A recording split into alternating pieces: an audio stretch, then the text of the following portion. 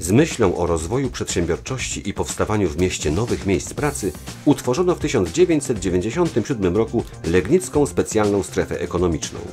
Jej wyjątkowym atutem jest położenie w bezpośrednim sąsiedztwie autostrady A4, obwodnicy zachodniej miasta i drogi krajowej nr 3 łączącej północ z południem Europy. Legnicka podstrefa zajmuje powierzchnię około 54 hektarów.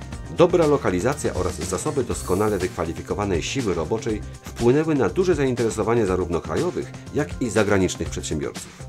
Dla potencjalnych inwestorów przygotowano tzw. zachęty inwestycyjne, takie jak ulgi podatkowe, uproszczoną procedurę uzyskiwania zezwoleń na zakup gruntu, zagospodarowanie terenu i budowę zakładu. W Legnickiej podstrefie działalność produkcyjną prowadzi 15 firm zatrudniających ponad 3,5 tysiąca osób. Działają tu takie firmy jak Uzin Polska Produkty Budowlane, Wisman Technika Grzewcza, Gates Polska, CNP Systemy Meblowe, Brugman Fabryka Grzejników, ADO Polska, TBMK, Wezitek, Winkelman Polska, Przedsiębiorstwo Gruca, Paurecja Legnica, Huras, Animak Kopcza, Herter Technika Wytłaczania. Są to firmy o międzynarodowym, niemieckim, japońskim, francuskim, angielskim, amerykańskim, holenderskim i krajowym kapitale.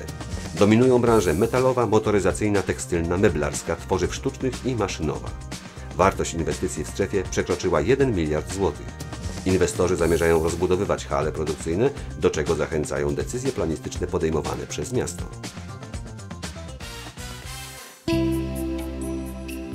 Rozwój Legnickiej Specjalnej Strefy Ekonomicznej miał ogromne znaczenie dla ożywienia lokalnego rynku pracy. W połowie 2008 roku poziom bezrobocia spadł poniżej 7% i zalicza się do najniższych spośród miast porównywalnych wielkością z Legnicą.